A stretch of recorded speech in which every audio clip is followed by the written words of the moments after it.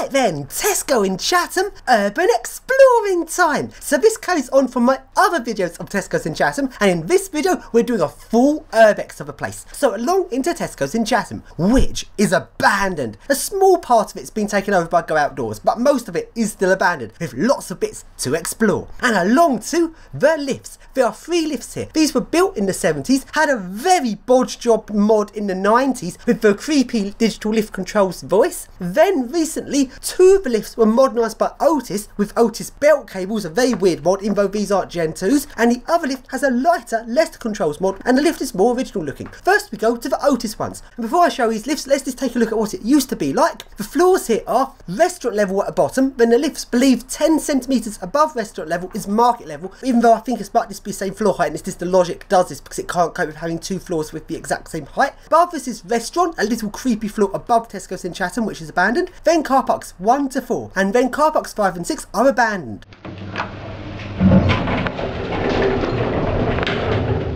Market. Restaurant. Car park level 1. Car park level 2. Store level and exit. Store level and exit. Store level and exit. Store level store level and exit. Level and. Now, after these mods, the market level has now become ground floor. So the ground floor now opens on the other side where market is. Store level is now abandoned, no longer used. Restaurant level is also abandoned, no longer used, meaning the restaurant side doors are now completely disabled because those doors never open anymore. Then goes up to car parks 1 and 2. Car parks 3 to 6 are now abandoned. So 3 and 4 got abandoned because too many drug dealers are up there.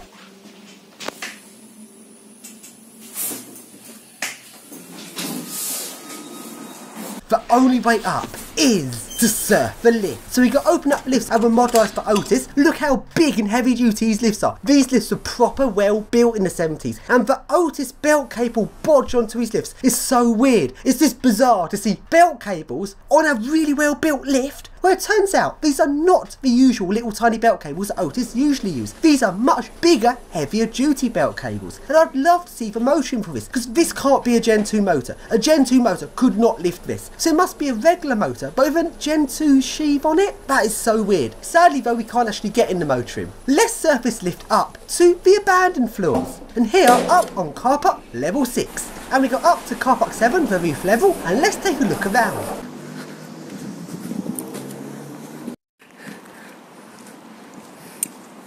Sadly, we can't get into the motor room, which is so annoying because it'd be so fascinating to see it.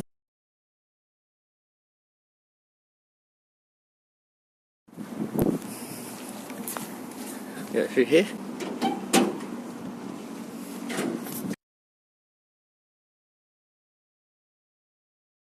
So back to the lifts.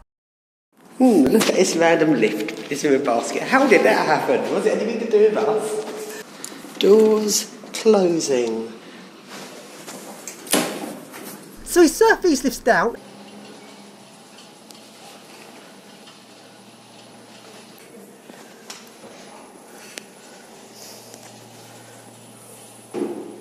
Now going to take a look at the lift that's had the lighter Leicester mod. This is what it looks like on the inside, looking a lot more original.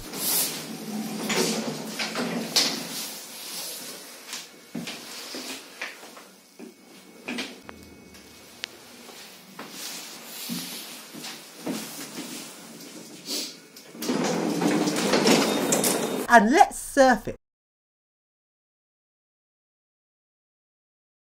And notice on the top of this lift, it's got regular style cables, not Otis belt cables.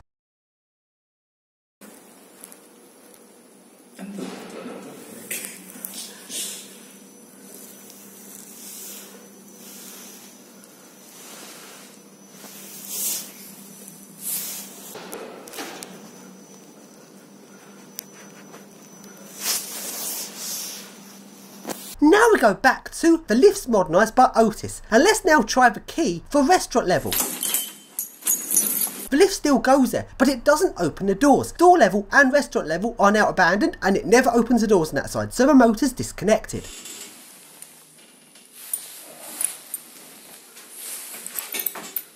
And they've taken away the door motor. That door's actually screwed shut and the door motor's been disconnected, so it's not going to be opening.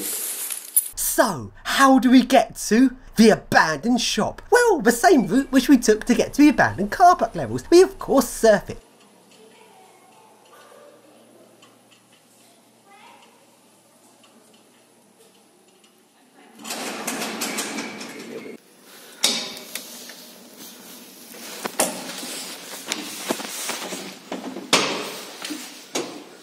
And here we are at the abandoned restaurant level. We are now inside Tesco's in Chatham. And the restaurant level is particularly epic looking. It's got a real 70s look to it. Let's take a look around. Right then, we go down the stairs from restaurant level down to the abandoned store level. Even though these lifts now have a new ground floor button which opens up on the market side, the lifts still chime on the abandoned store side, which is spooky having creepy chiming lifts that never open their doors.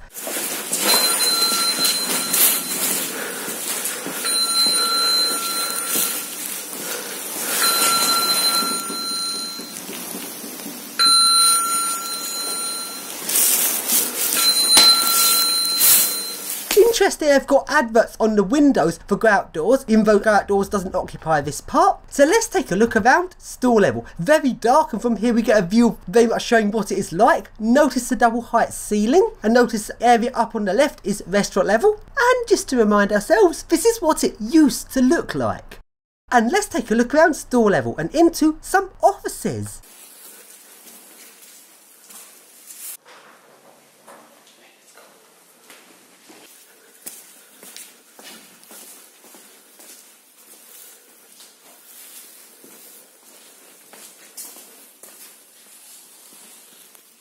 And let's look around the abandoned store.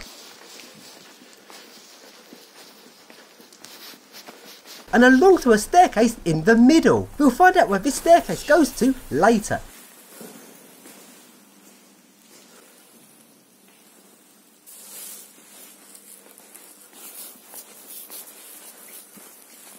And now I'm going through the abandoned store level to the back of it, where there is some back rooms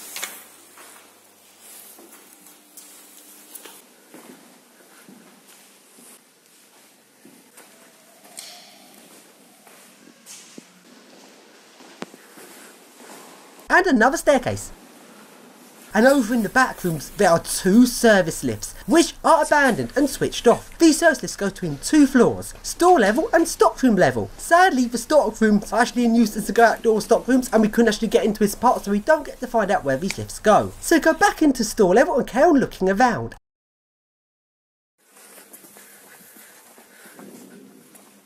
And along to the goods lift in the middle of store level. This one goes between three floors, store level, restaurant level and loading bay level. Let's open it up and see if the lift works.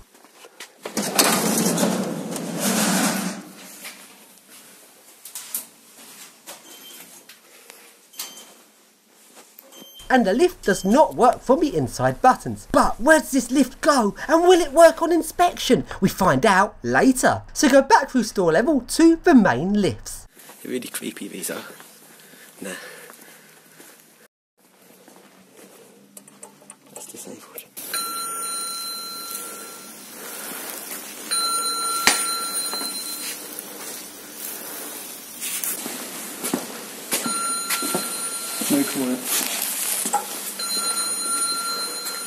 And we now go up to restaurant level and let's explore restaurant level. Up the spooky staircase and up we go to restaurant. So back up at restaurant level where we started, let's take a look at the toilets.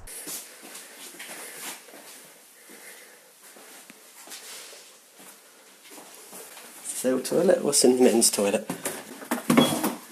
Here's the men's toilet.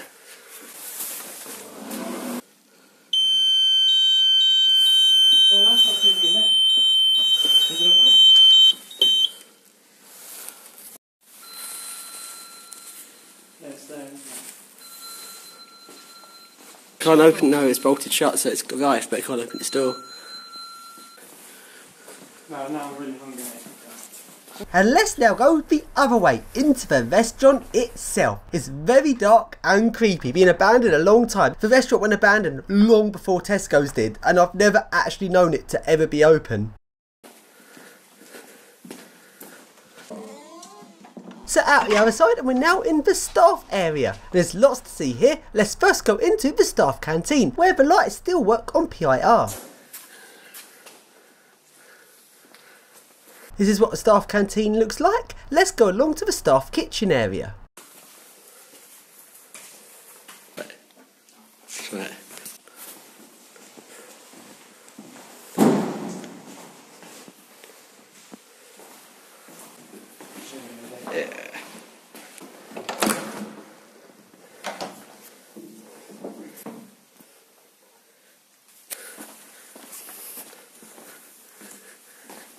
And let's now take a look around the various staff rooms here.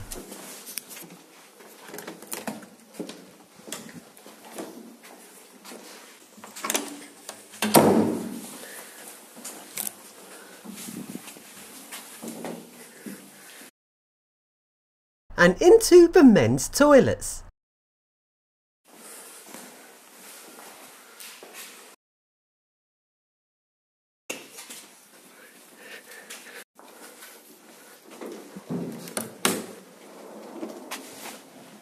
And into the women's toilets.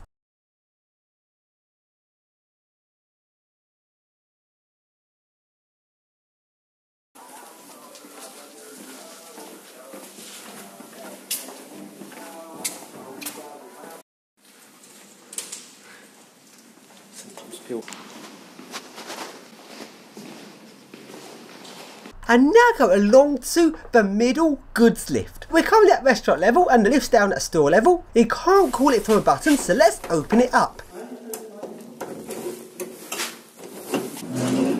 My friend climbs down on top of the lift and it dries on inspection. Yes! This lift goes from store level, restaurant level, and then loading bay level. So let's surf up to loading bay level to see what is up there.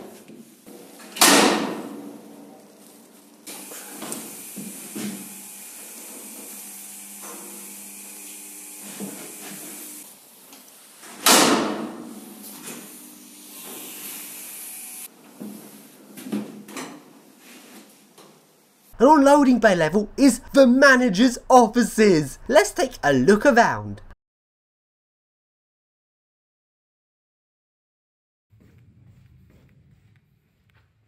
Along into the first office area.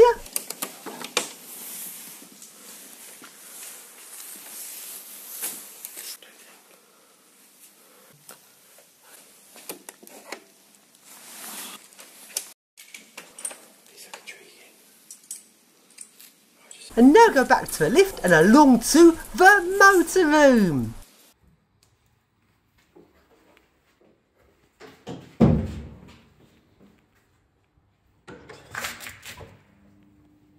Unlike the passenger lifts, these goods lifts are hydraulic.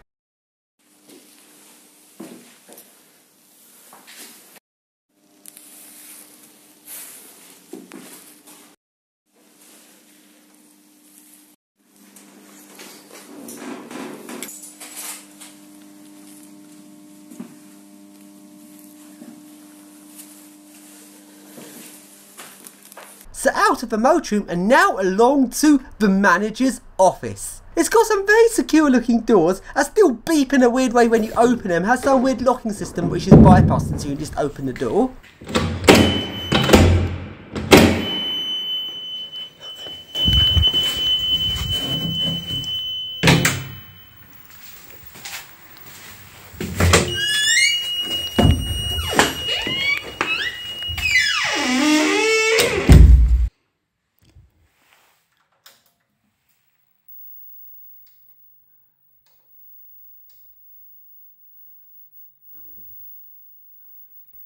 And on this floor is where the money chutes goes. This is where cashier would put money into a little box and then send it through air pressured pipes. And this is where the money would come out. So when this was in use, this would be a very secure office area which managed all the money.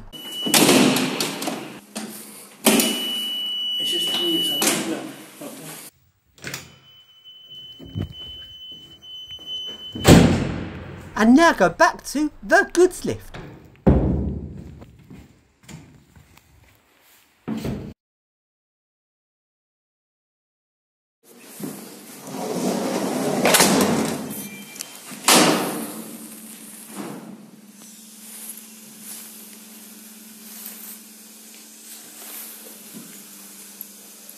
Lot.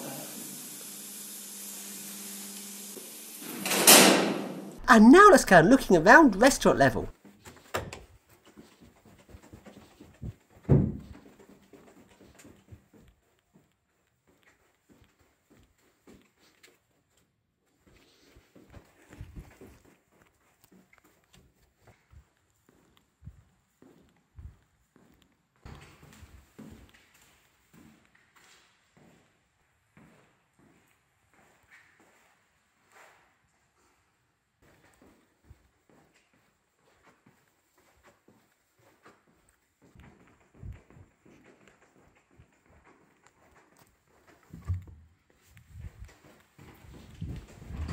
So then we now got outside on car park level 1, we climb up onto this wall area and now let's go and explore this part and along above where the loading bay is.